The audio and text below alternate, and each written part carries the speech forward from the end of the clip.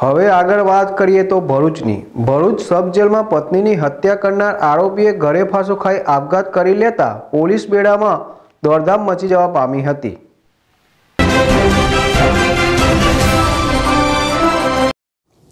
બે દિવસ અગાઉ ભરૂચના અંકલેશ્વર નગરના રાજપીપરા રોડ સ્થિત પદ્માવતી નગરમાં આશાદેવી નામની પરણિતાને તેના પતિ દિલદારસિંહ આડા સંબંધની શંકામાં મોતને ઘાટ ઉતારી દીધી હતી.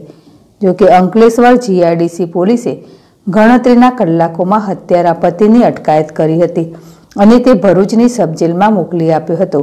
તે દરમિયાન ગતરોજ પત્નીની હત્યા કરનાર આરોપી દિલદારસિંહે સબજેલની બેરેકમાં જ ઘરે ફાંસો ખાઈ આપઘાત કરી લેતા જેલ સત્તાધીશોમાં નાસભાગ મચી જવા પામી હતી. બનાવ અંગેની જાણ થતાં Bharuch B division police sub jail ખાતે દોડી ગઈ હતી અને મૃતક કેદીના લાશનો કબજો મેળવી તેને પીએમ અર્થે ભરૂચ સિવિલ હોસ્પિટલ ખસેડાયો હતો.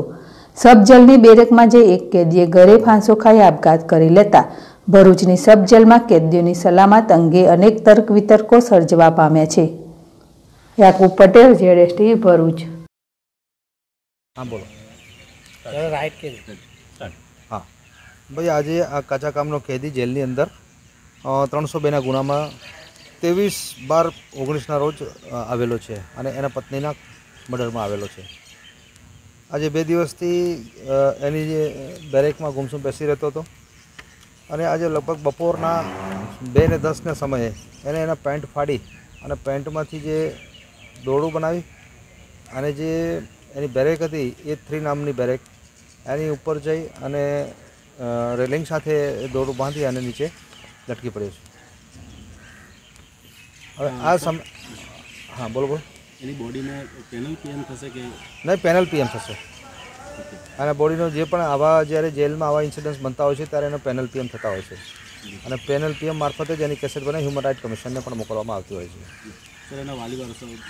એના વાલી વારસોમાં તો હજુ લગભગ એ કદાચ એમપીના છે અને એને જેનું મર્ડર કર્યું છે એની પત્નીનું.